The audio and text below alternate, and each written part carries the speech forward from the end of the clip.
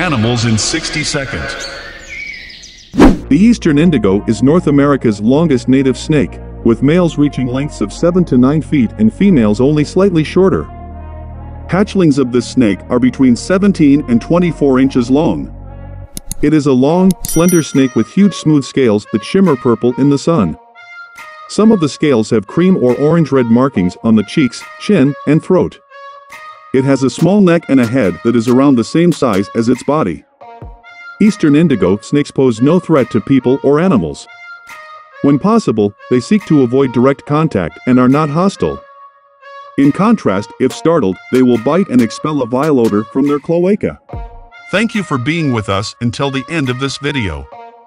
If you like this video, please like it and press the subscribe button to support us.